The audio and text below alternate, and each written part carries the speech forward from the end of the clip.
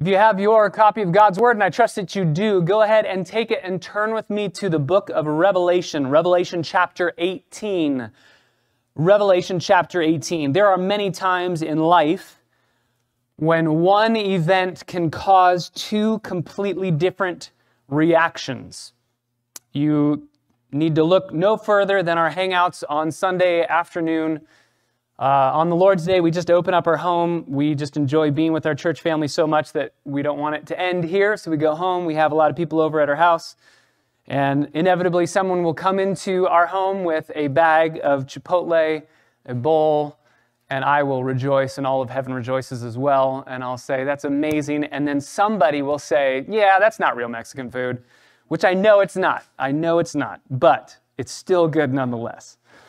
Or we start playing a card game and somebody will say, this, I just learned this new card game. It's my favorite game.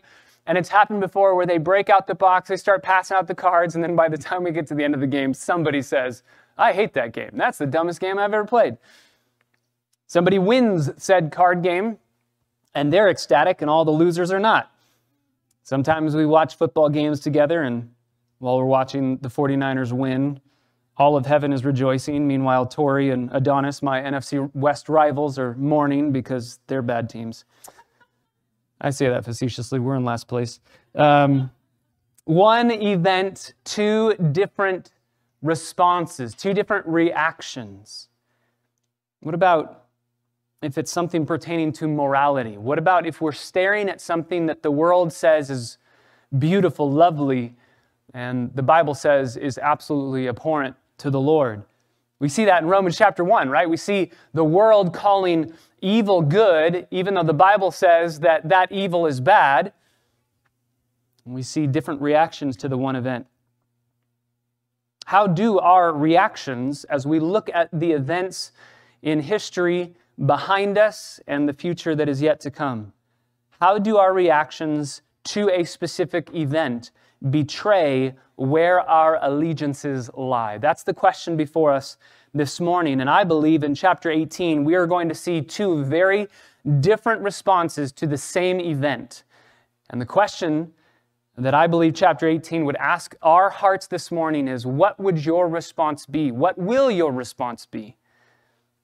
So let's read all of chapter 18. I want to read all of it. I want to remind us of where, where we were last week in verses 1 through 8. So we'll read it together and then we'll read just finishing out the rest of the chapter. Revelation chapter 18, John writes After these things, I saw another angel coming down from heaven, having great authority. The earth was illumined with his glory, and he cried out with a mighty voice, saying, Fallen, fallen is Babylon the Great she has become a dwelling place of demons and a, a, prison of every unclean spirit and a prison of every unclean and hateful bird. For all the nations have drunk of the wine of the passion of her immorality, and the kings of the earth have committed acts of immorality with her, and the merchants of the earth have become rich by the wealth of her sensuality. I heard another voice from heaven saying, Come out of her, my people, so that you will not participate in her sins and receive of her plagues, for her sins have piled up as high as heaven, and God has remembered her iniquities. So pay her back, even as she has paid, and give back to her double according to her deeds, and the cup which she has mixed, mix twice as much for her. To the degree that she glorified herself and lived sensuously, to the same degree give her torment and mourning, because she says in her heart, I sit as a queen, and I am not a widow, and I will never see mourning. For this reason, in one day her plagues will come pestilence and mourning and famine, and she will be burned up with fire, because the Lord God who judges her is strong. And the kings of the earth, who committed acts of immorality and lived sensuously with her will weep and lament over her when they see the smoke of her burning, standing at a distance because of the fear of her torment, saying, Woe, woe, the great city Babylon, the strong city, because in just one hour your judgment has come. And the merchants of the earth weep and mourn over her because no one buys their cargoes anymore cargoes of gold and silver and precious stones and pearls and fine linen and purple and silk and scarlet, every kind of citron wood and every article of ivory and every article made from very costly wood and bronze and iron and marble and cinnamon and spice and incense and perfume and frankincense and wine and olive oil and fine flour and wheat and cattle and sheep and cargoes of horses and chariots and slaves and human lives. The fruit that you long for has gone from you. And all things that were luxurious and splendid have passed away from you, and men will no longer find them. The merchants of these things who have become rich from her will stand at a distance because of the fear of her torment, weeping and mourning, saying, Woe, woe, the great city she who was clothed in fine linen and purple and scarlet and adorned with gold and precious stones and pearls, because in just one hour such great wealth has been laid waste. And every shipmaster and every passenger and sailor and as many as make their living by the sea stood at a distance and were crying out as they saw the smoke of her burning, saying, What city is like the great city? And they threw dust on their heads and were crying out, weeping and mourning, saying, Woe, woe, at the great city in which all who had ships at sea became rich by her wealth, because in just one hour she's been laid waste. Rejoice over her, O heaven and you saints and apostles and prophets, because God has pronounced judgment for you against her. Then a strong angel took up a stone, like a great millstone, and threw it into the sea, saying, So will Babylon, the great city, be thrown down with violence and will not be found any longer. The sound of harpists and musicians and flute players and trumpeters will not be heard in her any longer. No craftsman of any craft will be found in you any longer. The sound of a mill will not be heard in you any longer. The light of a lamp will not shine in you any longer. The voice of the bridegroom and the bride will not be heard in you any longer, because your merchants were the great men of the earth, because all the nations were deceived by your sorcery. And in her was found the blood of prophets and of saints and of all who have been slain on the earth. This is the word of God. Let's go before Him and ask His blessing on our time together. Father, we come to the end of chapter 18 as we have been studying through this precious book.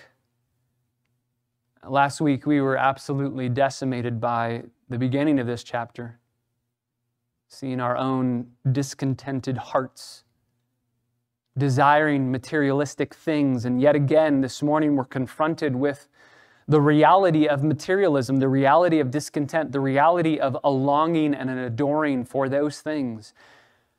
And yet, deeper still, this passage takes us not just to what we have, but what we long for, to the affection level, as your word always does. Father, I pray that you would give us eyes to see, that you would give us hearts to receive, give us ears to hear. We are broken vessels we need help. We are completely dependent upon you. Even this sermon, it, it will be absolutely pointless if you don't do the work of helping us, of bringing us aid, of applying the truths to our hearts.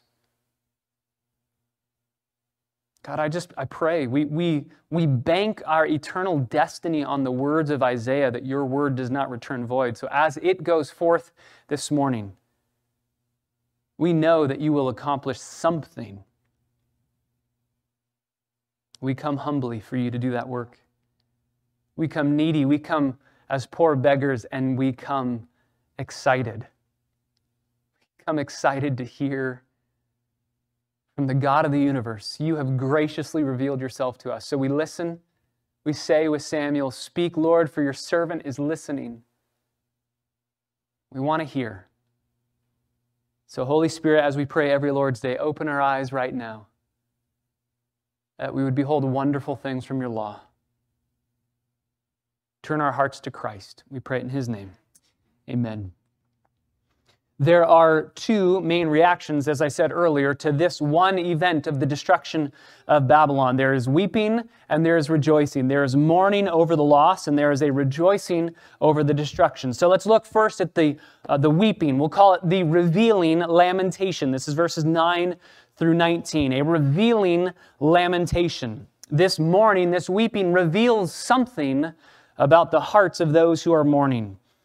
Verse 9 begins with the kings of the earth weeping and mourning over the loss of Babylon, over the destruction of not only this uh, religious system, but more specifically, this economic system.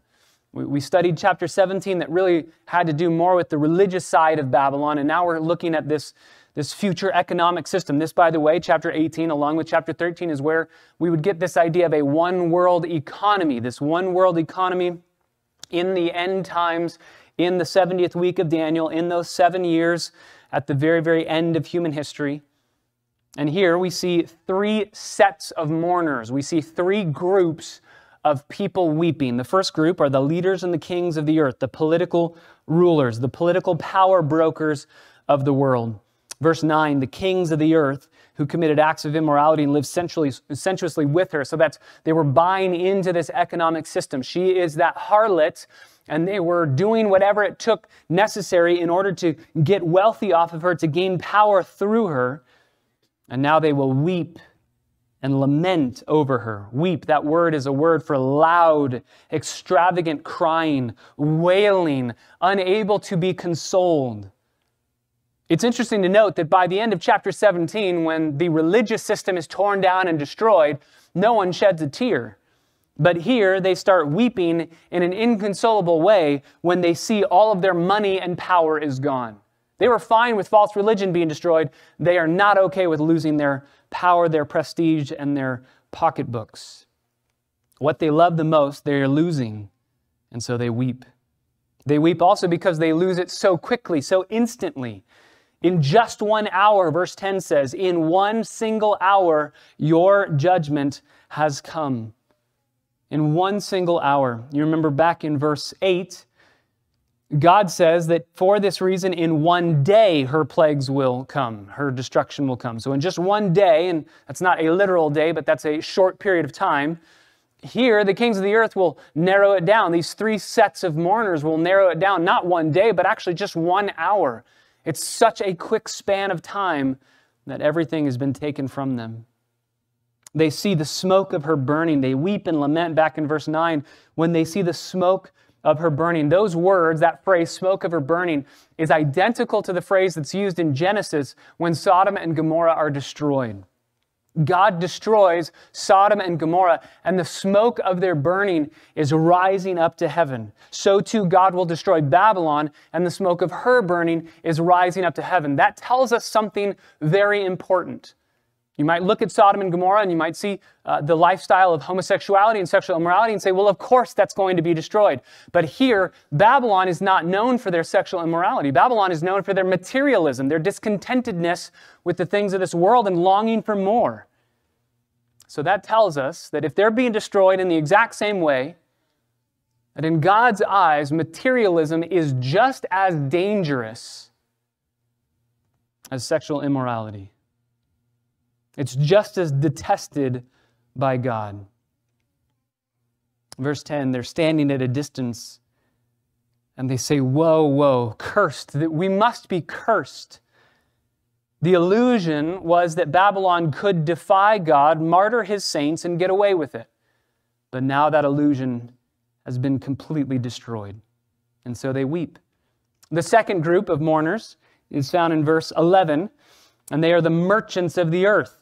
Those who are selling, buying and selling in Babylon, using Babylon to get rich. So we have people that are powerful over Babylon, then we have people in Babylon that are using Babylon to get rich, the industrial exporters and businessmen. They're weeping. The merchants of the earth weep and mourn over her because no one buys their cargoes anymore.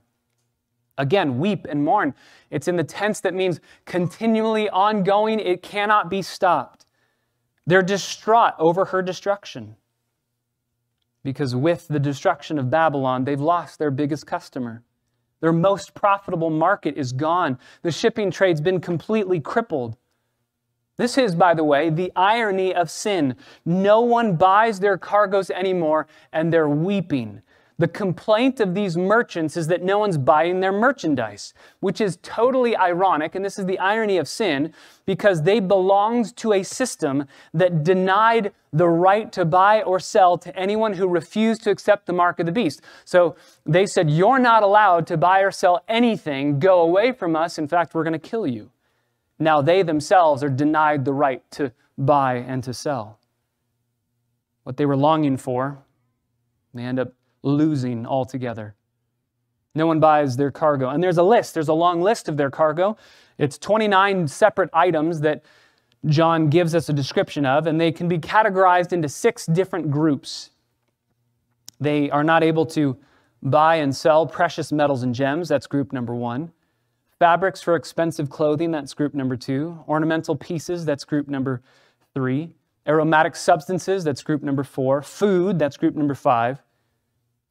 And last, but definitely not least, is animals and human, group number six.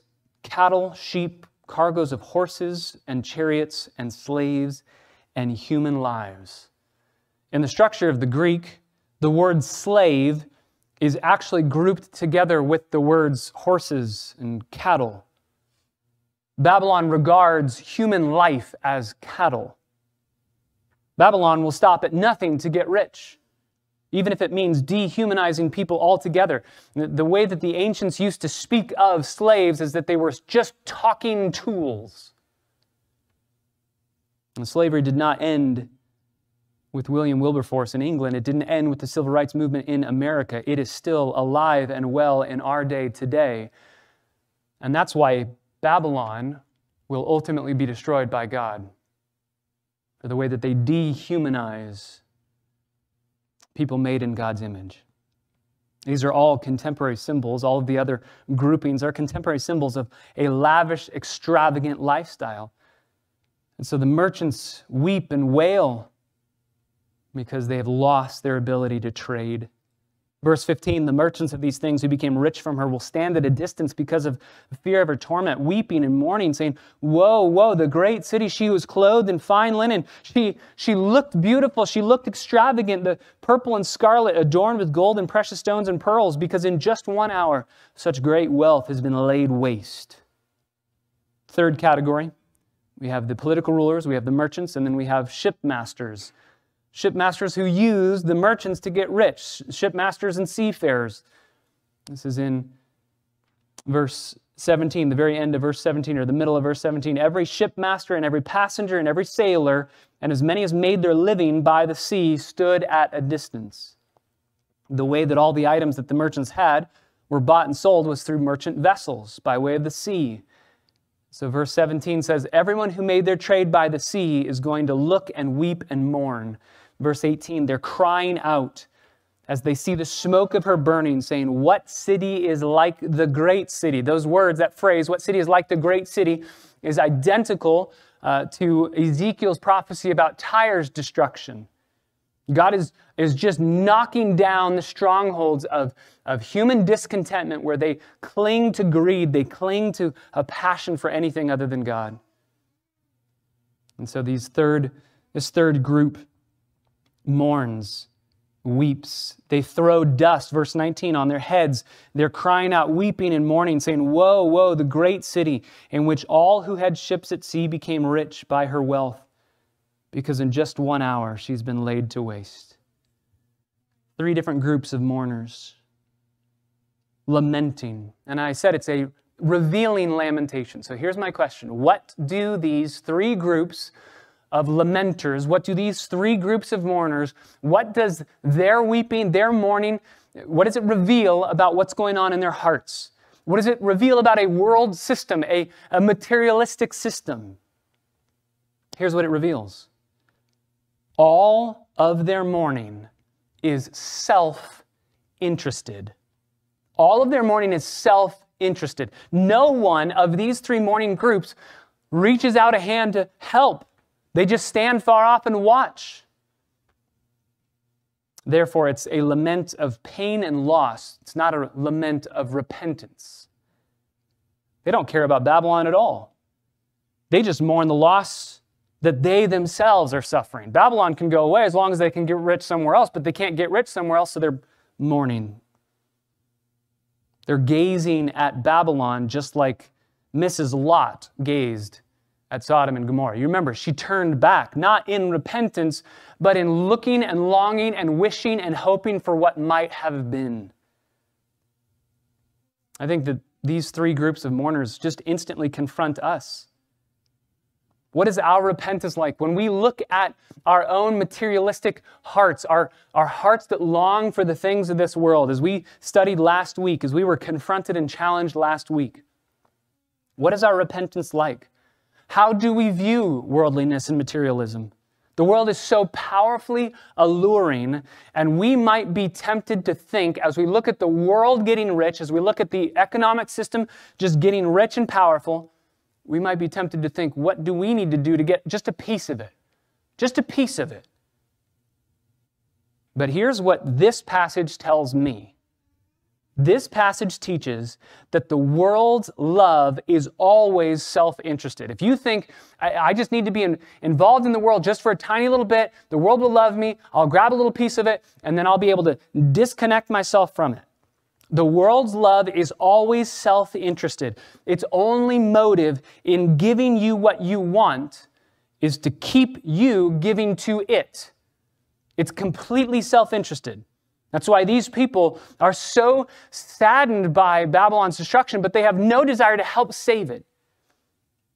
As long as you produce, as long as you perform, as long as you provide, the world will love you. But the moment you cease to do these things, the world will spit you out and destroy you without any care whatsoever. And you might be tempted to think, well, I, can grab a piece of the world, I can be greedy, I can be materialistic, I can grab just a piece, and I'll be the exception to the rule. You won't. Worldliness is that tractor beam that sucks us in and will not let us go. This is how the world loves. It's self interested. This is not how our Savior loves. God's love is not reserved for those who earn it, for those who perform, for those who produce or provide. If that were the case, then none of us would have the slightest hope whatsoever of being loved by God. Most famous verse in the Bible God so loved the world that he gave. He gave. His love is self sacrificing. Listen to the words of self sacrificing love in Romans chapter 5. At the right time, Christ died for the ungodly. He gave of himself because he loves us. So we see a revealing lamentation by these three groups of lamenters, these three groups of mourners. And I believe that they would say to us this morning that we must shatter any idol in our hearts of materialism, shatter it into a thousand pieces, and meet the God who loves you like no one else can love you. Don't be stuck on self interested love. Cling to self sacrificial love. And the text doesn't end there, though. We see not only the mourners for Babylon's destruction, we also see people rejoicing over Babylon's destruction. And this is point number two in our outline this morning. Not only do we see the revealing lamentation, but we also see number two, an exhortation to rejoice. It's a command to rejoice. This is verse 20 all the way through the end of the chapter. Rejoice over her. That's a command. Do it now. Rejoice over her, O heavens. And you, saints and apostles and prophets, rejoice. Now, we don't know exactly who this command is coming from. It could be an angel, as we've seen an angel giving commands earlier. It could be Jesus. It could be the Father. It, it could also be John himself, the apostle, saying, as he's watching the destruction of this materialistic system, he might be saying, This is reason to rejoice. We don't know who's giving it, but we do know who it's being given to. It's being given to all of God's people in heaven and all of God's people on earth. Rejoice, all God's people, whether in heaven or on earth. And by the way, chapter 19, as we'll get to uh, next week, Lord willing, opens with heaven's response to this invitation. We will see all of heaven saying, Yes, we will rejoice. And they sing a fourfold hallelujah chorus. But this exhortation is given to you and to me today. Rejoice over the destruction of this worldly system. It's a command. Rejoice over destruction, rejoice over wrath and judgment being given. You might be sitting here this morning you might say, Well, I am too compassionate to rejoice at someone else's suffering, at someone else's judgment, at someone else receiving wrath. I'm too compassionate to rejoice at that. And I would just plead with you be careful of being more compassionate than God Himself. God commands us to rejoice, and there's reason to rejoice here in the text. Why are we called to rejoice? In verse 20, because God has pronounced judgment for you against her. God has pronounced judgment for you against her. Your translations might say something a little bit different. That's a very clunky verse, right? No one speaks that way. There's what is it even saying? It's a very hard sentence in English to understand. It's a very hard sentence in Greek to understand. That's why it's clunky in the English. God has given judgment for you against her. What does that mean? It really could only mean two things, one of two things. Either God has done what you thought was right. What you thought was righteous, God did it. You were waiting, what you thought He was going to do, He did it. He pronounced a sentence of judgment in your favor and decided a case in your favor. It could mean that. Don't think that it means that, according to some of the words and the way that it, the, the sentence is structured. The, the second meaning that it could have, and I think this is probably the way that it's supposed to be understood, is that God has imposed on Babylon the same sentence that she imposed on you.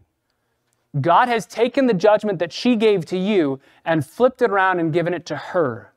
As she attempted to judge you with that judgment, she will be judged. Uh, one translation says it this way, and I think it's very helpful. God has pronounced on her the judgment that she passed on you. This is built on a very important law in the Old Testament regarding the bearing of a false witness. If I were to take you to court on the basis of some lie about you that I have purported, and you receive judgment based on the lie that I said, and then I was found out to be lying, the judgment that was given to you would be given to me. That's what's being said here. Babylon had repeatedly judged Christians and had shed their blood. But now the case has come to the final court of appeals, to the very bar of God Himself, and He's overturning Babylon's verdict and giving her the judgment that she gave to you. That's what verse 20 is saying. That's why we rejoice. Wrong has been made right. We said this a few weeks ago that all of those upside down moments in life will be made right side up one day. And then to illustrate the, the finality of Babylon's judgment, verse 21 a strong angel acts out an illustration of this destruction. This is similar to the prophets in the Old Testament who would do symbolic gestures. You remember some of those really strange things that they would do in order to act out the prophecies that they were giving. That's what's happening here. This angel, this strong angel, is going to act out the prophecy that's being given of Babylon's destruction. He takes up a, a great millstone, a stone that's like a great millstone, and throws it into the sea. That word for throw isn't just lob or toss, literally could be translated hurled or uh, whizzing past your ear as it goes by, making a sound because it's going so fast. It just instantly took me back to youth group days, summer camp days. You guys ever use those water balloon launchers? Did you ever use those? There would be this enormous slingshot, and two people would stand holding their arms outstretched, locking their elbows and then somebody would pull back with the little water balloon in this little, uh, little patch. They'd pull back and, and they'd let it go. And if you were standing as one of those two people, did anybody do this or is this just me? As you were standing as one of those pe- two people, you were just afraid for your life as that thing went right by your ear. You could hear it go by. That's what's happening here. This angel is hurling this stone with such ferocity and speed that it makes a whizzing sound as it goes by John's ear, as it were, violently hurling it into the sea. It's not accidental, it's intentional. It's like a millstone. A millstone is four to five feet in diameter, it's one foot thick, it weighs a thousand pounds. It's the stone that was used to crush grapes or, or olives, to produce olive oil, to produce uh, grape juice or wine. It's an enormously heavy stone. So the whole idea here is as it's being thrown into the sea, it's going to instantly sink, and all the ripples will one day go away, will soon go away. And that's why the angel says, So will Babylon, the great city, be thrown down with violence and will not be found any longer. There's no way Babylon rises out of this, right? There's no way that that millstone comes back up to the surface. There's no way Babylon gets out of this. It will sink beneath the surface as if it never existed. If you didn't see it going into the water, you wouldn't even know it was there. That's what's happening here. This is Babylon's destruction, the finality of her destruction. And then to further compound this destruction, verse 22 and following, we find so many aspects of Babylon's destruction being specified. The sound of harpists and musicians and flute players and trumpeters will not be heard in you any longer. No craftsman of any craft will be found in you any longer. The sound of a mill will not be heard in you any longer. The light of a lamp will not shine in you any longer. The voice of the bridegroom and the bride will not be heard in you any longer. Sounds of, of joy and merriment. No more life. It's all gone. All gone. Seven times that phrase, found in you any longer, is used. And in Greek, it's in the double negative. So you could say it this way no more at all. There is no possibility at all. Not found in you any longer at all, ever again. Seven times. We know seven is a number of perfection, completion. This is the complete destruction of Babylon. It was predicted in the Old Testament in Isaiah 13 through 14 and Jeremiah 50 through 51, and here it's finally happening. And it's very interesting because if you go back to verse 7, Babylon said, I will never not see mourning. Never not. Again, double negative that she uses. It's not possible for me to ever see mourning. And now we see at the end of chapter 18, it's not possible for her ever to rise again out of the mourning and destruction that she's in. Why? Why is she being destroyed? Again, I love God's word because as you ask the question, it's answered. Because, middle of verse 23, your merchants were the great men of the earth. You are being destroyed because your merchants were the great men of the earth. Why is that an issue? It's not because of their possession of wealth, it's because of their glorying in their wealth. They loved their wealth, they gloried in their wealth, and they made themselves the center of their universe. This reminds us of, of, things that we talked about even last week. Materialism is global, it's always possible to be involved in materialism. This entire worldly economic system is uh, global and it's going to be destroyed. Materialism is also temporal. Materialism is temporal because God in his glory is going to destroy this economic system and take away their materialism. Doesn't mean that we shouldn't work hard to make a living, to get money. That's not what this is saying. Materialism itself is wrong. Money itself isn't wrong. Money is a gift, money is a tool. Loving money and desiring to get rich and desiring to be filled with greed is where uh, the problem lies. We looked at that last week, and I think that it's an important challenge for our hearts again this morning. So, you are destroyed, Babylon, because your merchants were the great men of the earth. They, they gloried in their materialism. Secondly, because all the nations were deceived by your sorcery. End of verse 23. You are destroyed because all the nations were deceived by your sorcery.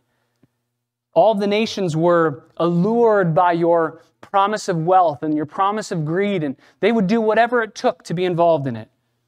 That word for sorcery, your, your translation might be a little bit different. That word for sorcery, the Greek word is the word pharmaceos, where we get pharmaceuticals.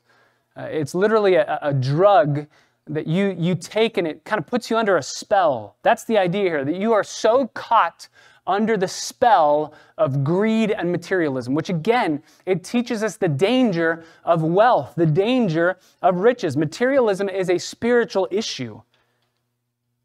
And everyone in the world at that time who is not or who has taken that mark of the beast is involved in the spell. They're stuck under it.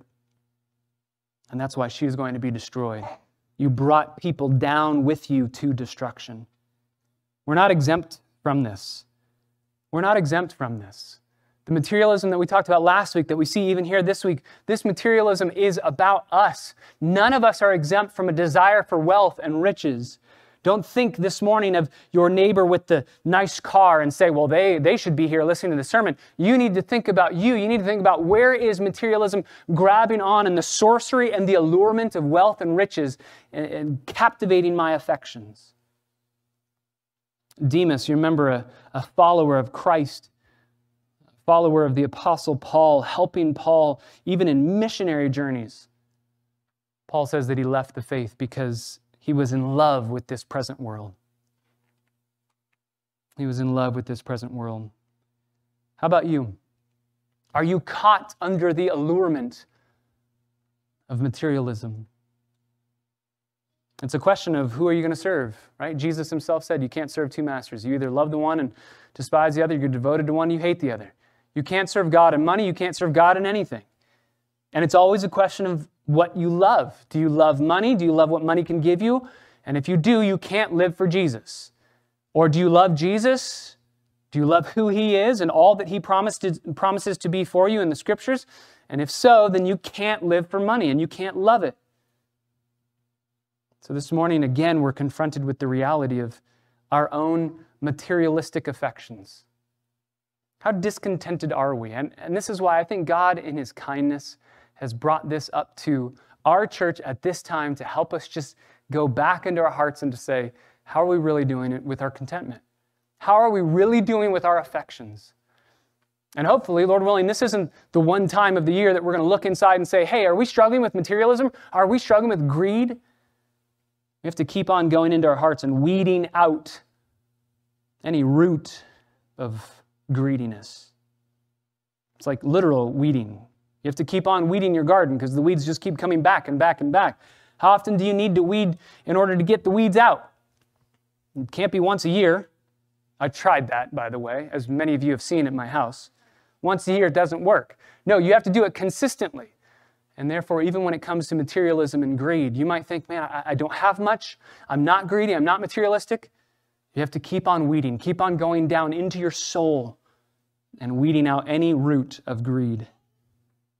Matthew chapter 6, verses 19 through 21 tells us not to lay up for ourselves treasures on earth that are temporal and will go away. Store up for yourselves treasures in heaven. Because, in contrast to the transitory wealth that we see in Babylon and the glory of this world that goes away, we have riches forevermore and pleasures forevermore at God's right hand. So, Babylon will be destroyed Number one, because of the merchants being great men, glorying in their wealth, their riches. Number two, because all of the nations were deceived by the sorcery of Babylon. And then finally, number three, in verse 24, the third reason for why Babylon is being destroyed is in her was found the blood of prophets and of saints and of all who had been slain on the earth. I was reading this text this week and just meditating. And just thinking through John, I, I always love to picture John sitting, writing. Many people have a wrong understanding of inspiration, the doctrine of inspiration, that God's word is inspired. Uh, Second Peter chapter 1 tells us what that was like. A lot of people think it was this robotic trance, right? That as John's about to write God's word, he's just hanging out, being John, and then all of a sudden, like his eyes roll back, and he just kind of goes into a trance and starts writing, and then all of a sudden his eyes roll back, and he's able to see, and he goes, Hey, I just wrote the Bible. How cool. That's not the doctrine of inspiration. The doctrine of inspiration is that men were moved along or carried along by the Holy Spirit, so that what they wrote was not robotically transmitted it was transmitted through their personality, through their character, through their loves and their affections. You see this even in the way things are written. Paul writes very differently than Peter writes. Luke obviously is going to write differently than Peter because Luke is a trained physician, whereas Peter is just a fisherman. So you're going to see the, the beauty of personality live itself out in these books. It's God's word given to us through human agents. Verse 24 you have John writing what God is telling him to write, what God is moving him to write through this vision. And he says that in Babylon, the blood of prophets and of saints and of all who have been slain on the earth is found.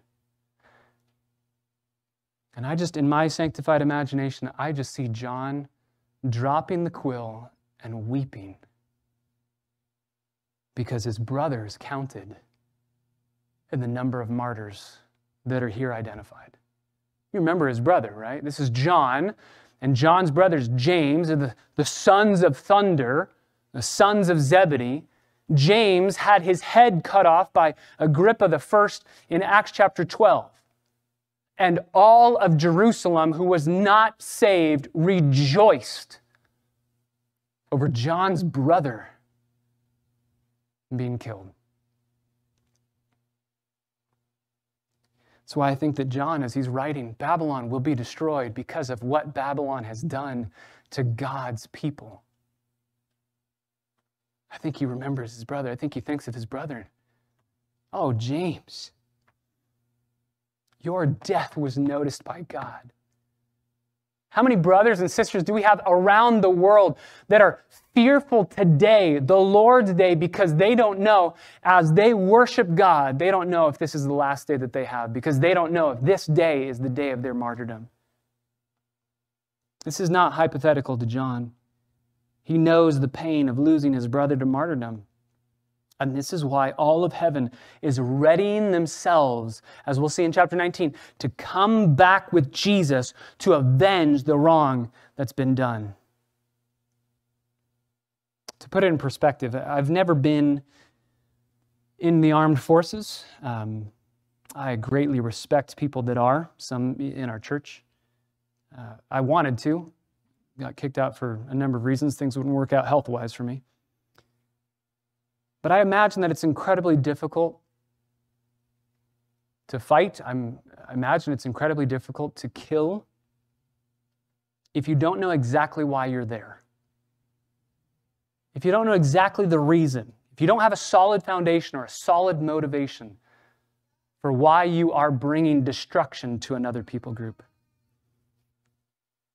But to me, it seems that, let's go back to World War II seems that if there was any ambiguity in the mind of U.S. soldiers in World War II, any ambiguity about invading Europe, is that right? Should we have done that? Regarding the war in general, why are we here? Why are we spending human life and destroying others? I can only assume that any question mark about why they were doing what they were doing was instantly gone when they came to those barbed wire gates at Auschwitz, when they came to those ovens at Treblinka. I imagine when they saw those, they realized this is why we fight. This is why we fight. Suddenly, the rightness of war becomes entirely self evident. And, brothers and sisters, chapter 18 is World War II magnified by a million times. This is, this is the destruction of God's people and an attempt to destroy God's glory. And so the rightness of his judgment is manifestly self evident as we come to the end of this chapter. It takes us all the way back to Cain and to Abel.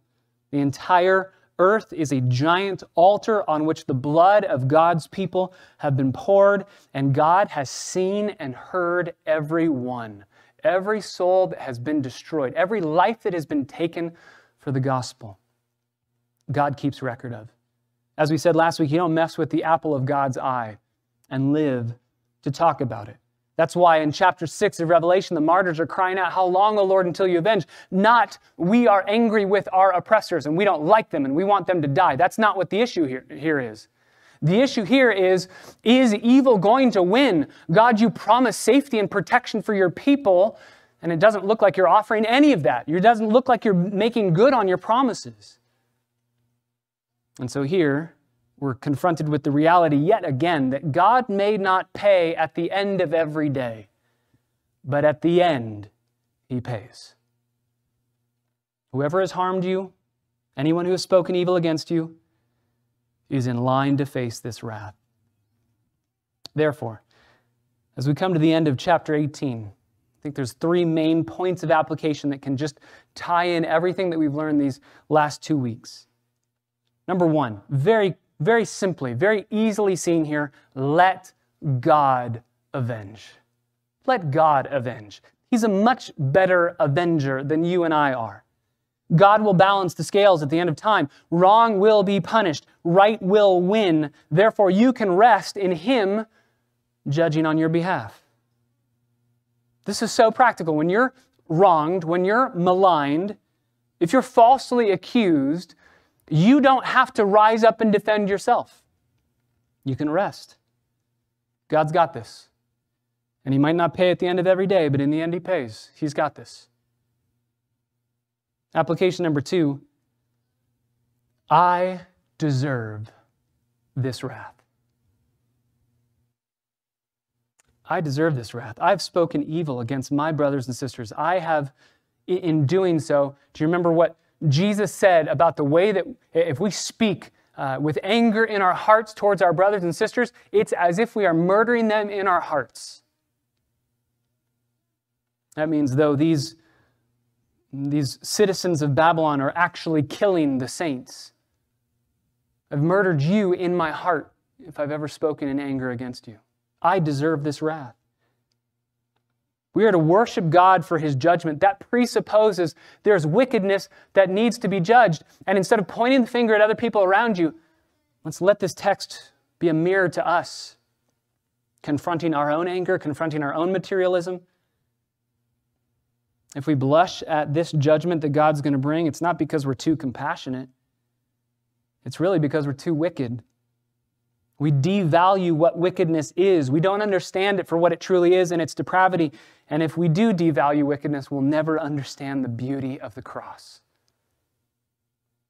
I deserve this wrath. And yet it was poured out on my Savior.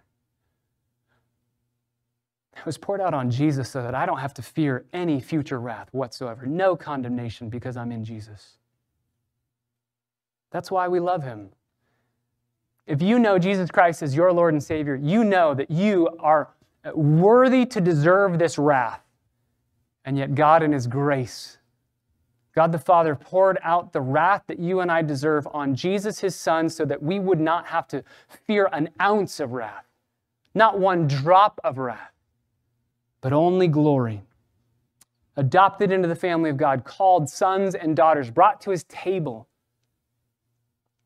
that's why we love him. And if you love him, you long to be with him. That's why we can let the entire worldly system go. Just like that old hymn says, Take this world, but give me Jesus.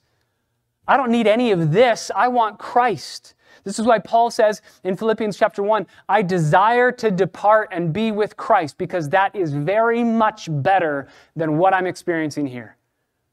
He says, For me to live is Christ and to die is gain. I think the world is the opposite. The world is to live as gain, get as much as you can, and to die something in the afterlife, who knows what. But for Christians, to live is all about Christ and death is gain because everything that I lose when I die in this life, put it all on one side of the scale and just put Jesus on the other side. And gaining Him just throws all of those other possessions off the scale. Do you long for Jesus? Do you love Jesus? Do you long for eternity? I had an amazing conversation with my son. We got to go out on a little daddy son date on Friday. And Ethan and I were talking about heaven. It was so, so awesome. And he said, Dad, you know what I'm going to miss about heaven? Because we were talking about the rain that's coming. It kind of looked like rain, smelled like rain. He said, You know what I'm going to miss about heaven? I'm going to miss the rain. I said, Really? Why? He said, I just, I love the way it looks. I love I love lightning. I love thunder.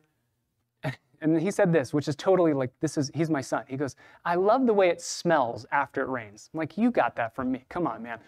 I love the way it smells after it rains. And so I said, well, son, the Bible doesn't say that rain isn't going to be happening in heaven. In fact, the Bible says there's a rainbow in heaven. So if there's a rainbow, maybe there's rain. He goes, oh, cool. He says, but I'm going to miss animals, Dad. I'm going to miss animals in heaven. I said, actually, you know, the Bible says there's animals in heaven not our animals, not our pets. It's one of the most devastating things that kids learn, so I'm telling it to my kids now. If we ever have pets, pets don't have souls, so I don't think our pets are going to heaven. They don't die and go to heaven. But God knows we love our pets. So my guess is that God's going to give us either our pet or something better and we're going to enjoy it. God knows what we love. And we know biblically there are animals in heaven. My son goes, Cool. I didn't know that. Then he says, Well, I'm going to miss dinosaurs. I said, Wait, when have you ever seen a dinosaur here? Like, you can't miss it if you've never experienced it. He goes, No, like dinosaur bones and, and, and books about dinosaurs. And I said, Dude, you've never even seen a dinosaur. Guess what? I think in the new heavens and the new earth, I'm guessing there will be dinosaurs. He goes, There's going to be dinosaurs in heaven? Yes. So he says to me, Man, Dad, I guess I'm not going to miss anything when I go to heaven. I, I thought, number one, that's the coolest thing in the world for him to go, I just want to be there and I'm fine leaving everything else behind. And then I was able to tell him two things. I said, Ethan, you know there's going to be dinosaurs in heaven, maybe, animals for sure, maybe rain, all these cool things. But that's not what makes heaven amazing. Take all those things away and give me Jesus. And I have everything I need to be satisfied. I just want Him. And he said, Yeah, Dad, I know. okay, thanks, Ethan. Ruining a moment, son. I said, Ethan, there is one thing that you will miss in heaven. And I don't even know how this works in heaven. But I said, Ethan, if there's somebody that you know in this life that you love and they don't know Jesus, they won't be with us in heaven. That's why you need to tell them. That's why you need to show them that Jesus is better than this life. That's why you need to be on mission now to tell people that Jesus is better than anything this life has to offer. We prayed. Where else but Chipotle? And I pray that not only my son, but all of us would collectively say, Take the world, give me Jesus. Our response to divine judgment reveals who we really are and what we really prize. This tells us something about ourselves. Are we like the kings who weep because judgment has come, or are we like all of heaven who rejoices because sin is going to be judged and we get to live in righteousness with Christ? Choose this day, as Joshua would say, whom you will serve. Is it God or is it this world and its riches? The hour is coming when God will judge, and it's too late to make that decision. For now, you can choose, but there will be no ambivalence then. Father, we thank you so much for the stark reality of these two opposing reactions. All of Babylon mourns because what they loved the most was taken away. And all of heaven rejoices because what they hate the most are sin and evil and wickedness, and anything that takes us away from you is destroyed. Babylon mourns because what they hate the most, Jesus, the Son of God, is coming back to rule and to reign and to destroy them. All of heaven rejoices because what they love the most, Jesus Christ, is ruling and reigning. And so, Father, all we can say in response to the, the reality of what chapter 18 prophesies about the future and what that means for us today. All we can say and plead with a, a cry of our own hearts and a prayer to you is please be everything to us. Be everything to us. Not be all else to me, save that thou art. Be our vision May we, may we sing, uh, riches we heed not, nor man's empty praise. You are our inheritance both now and forever. Grow affections for Jesus Christ in our hearts, even as we sing. We pray in the name of Christ, our greatest treasure. Amen.